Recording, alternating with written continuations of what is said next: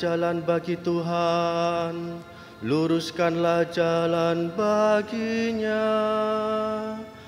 Dan semua orang akan melihat keselamatan yang dari Tuhan. Tuhan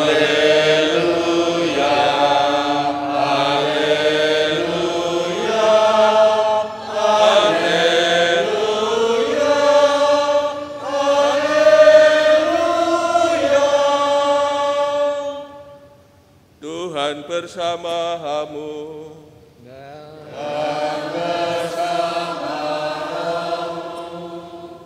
Inilah Injil suci menurut Markus.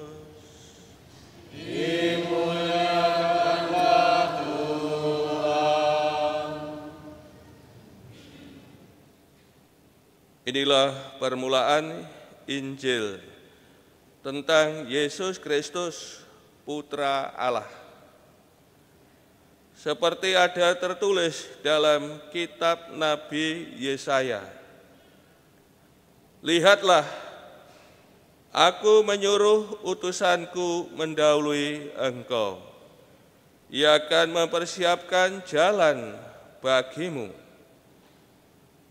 Ada suara orang yang berseru-seru di padang gurun. Persiapkanlah jalan untuk Tuhan, luruskanlah jalan baginya. Demikianlah Yohanes Pembaptis tampil di padang gurun dan memberitakan baptisan tobat untuk pengampunan dosa. Lalu berdatanglah kepada Yohanes orang-orang dari seluruh daerah Yudea dan semua penduduk Yerusalem. Sambil mengaku dosanya, mereka dibaptis olehnya di sungai Yordan. Yohanes memakai jubah bulu unta dan ikat pinggang kulit. Makanannya belalang dan madu hutan. Inilah yang diberitakannya. Sesudah aku akan datang dia yang lebih berkuasa daripada aku. Membungkuk dan membuka tali kasutnya pun aku tidak layak. Aku membaptis kamu dengan air, tetapi dia akan membaptis kamu dengan roh kudus. Demikianlah sabda Tuhan.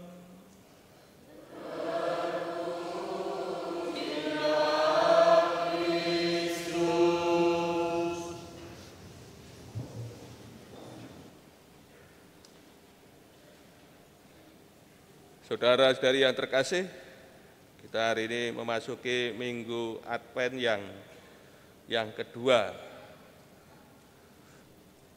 Tokoh dalam minggu Advent yang kedua dan yang ketiga ialah Yohanes Pembaptis.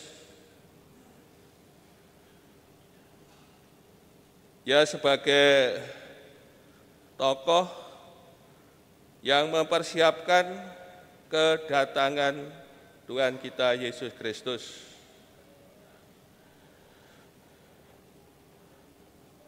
Dan apa yang dinubuatkan dalam kitab Yesaya, sebagaimana kita dengar dalam bacaan pertama ya, terpenuhi dalam diri Yohanes Pembaptis. Ya sebagai tokoh yang berkaitan langsung dengan kedatangan Tuhan. Maka tadi Markus, ya, penginjil Markus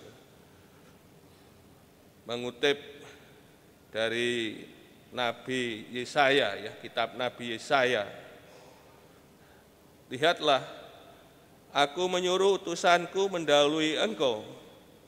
Ia akan mempersiapkan jalan bagimu. Ada suara yang berseru-seru di padang gurun, persiapkanlah jalan untuk Tuhan, luruskanlah jalan baginya. Apa yang ada dalam kitab Nabi Yesaya diberi makna baru dalam Injil Markus ini, maka Makna ini mempunyai arti ya, mesianis. Yohanes mempersiapkan kedatangan Sang Mesias yang akan datang di dunia ini. Maka tadi dikatakan ya, Yohanes tampil di padang gurun dan ia berseru-seru ya, di padang gurun.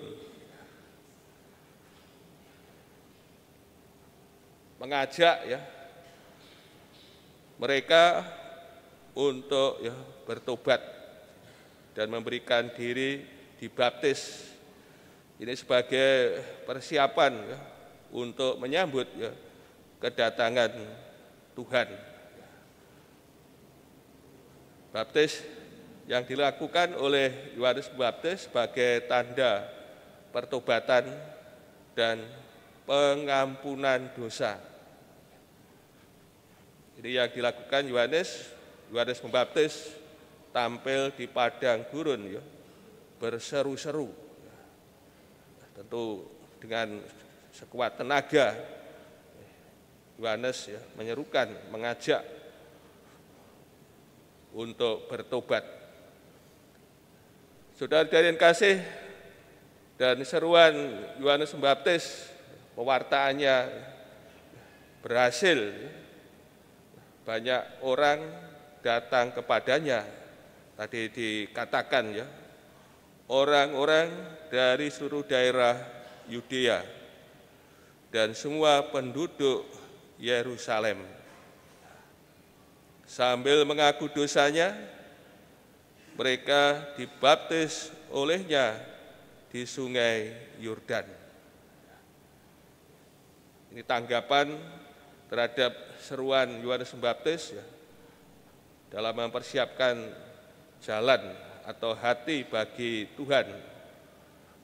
Banyak orang menanggapi ya, dengan memberikan diri mereka ya, dibaptis oleh Yohanes di Sungai Yordan sebagai ungkapan ya, tobat dan pengampunan dosa. Mereka mengakui dan menyesali akan kesalahan-kesalahan mereka, ya, dosa-dosa mereka. Ini yang dilakukan oleh Yohanes bagi manusia dalam mempersiapkan kedatangan Tuhan. Ya mempersiapkan manusia, ya, mempersiapkan jalan, mempersiapkan hati ya, bagi manusia supaya layak untuk menyambut kedatangan Tuhan. Dan penginjil memberi penjelasan mengenai apa yang dipakai dan dimakan ya, oleh Yohanes Pembaptis. Sudah jadi kasih, di samping Yohanes pembaptis berseru-seru ya di padang gurun. Yohanes juga memberitakan akan dia yang akan datang ya, yang lebih berkuasa daripadanya. Sesudah aku akan datang dia yang lebih berkuasa daripada aku. Ini yang diwartakan Yohanes tentang dia yang akan datang yang lebih berkuasa daripadanya. Dan ini menunjuk ya kepada Yesus.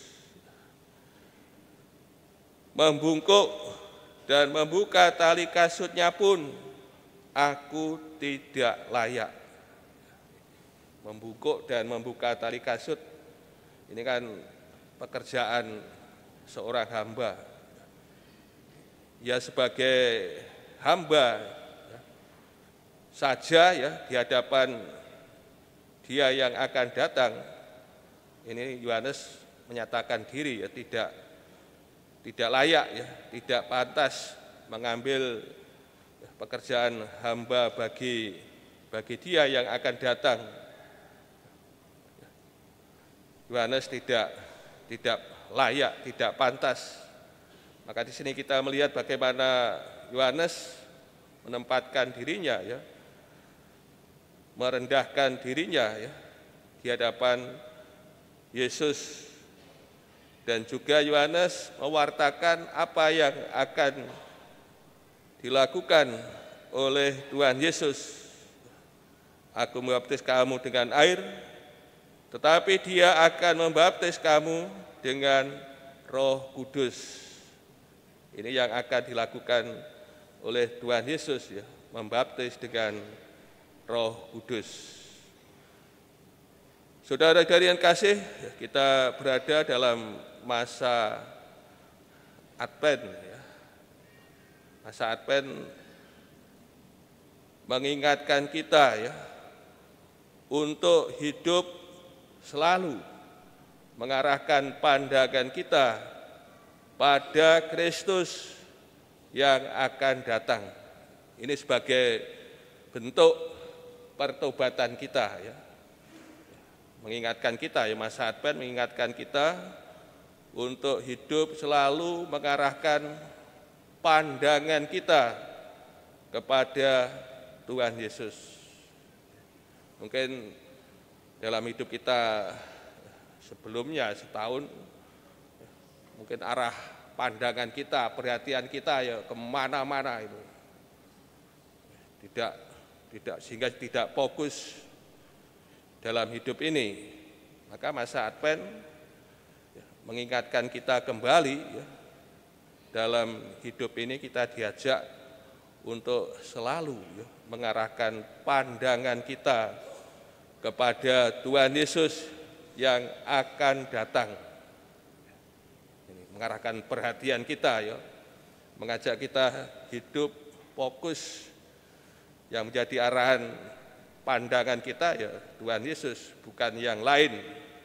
Mungkin selama ini kita arah pandangan kita ya ke mana-mana ya, sehingga membuat hidup ini ya porak-poranda maka kita diingatkan kembali dalam masa Advent ini yang menjadi arah pandangan kita, perhatian kita ya, adalah ya, Tuhan kita, Yesus Kristus dalam hidup kita sebagai muridnya. Dan melalui Yohanes Pembaptis kita diberi diberi arahan ya, diberi petunjuk bagaimana yaitu dengan mengajak kita selalu ya, bertobat. Ini bertobat. Mengakui dan menyesali segala kesalahan dan dosa-dosa kita. Melalui Yohanes Pembaptis, kita diajak untuk ya, merapikan diri kita, merapikan perbuatan kita, ya hidup kita, kita bisa berkaca ya kepada Yohanes yang hari ini mengajak kita ya untuk bertobat. Ini bertobat. Kita diajak untuk ya merapikan ya, hidup kita, ya, perbuatan kita, tingkah laku kita, omongan kita. Mungkin yang selama ini ya, awut-awutan, maka melalui seruan Yohanes Baptis ya, kita diajak ya untuk bertobat. Kiranya dengan cara cara demikian ya, kita akan pantas layak untuk menyambut kedatangan Tuhan yang akan kita rayakan pada hari Natal juga kedatangan Tuhan yang memanggil kita sewaktu-waktu kapan pun kita tidak tahu Namun kita bila kita dalam hidup kita ya, hidup dalam keadaan rapi, hidup dalam keadaan pantas di hadapan Tuhan, maka kita akan didapati selamat dan mendapat berkatnya.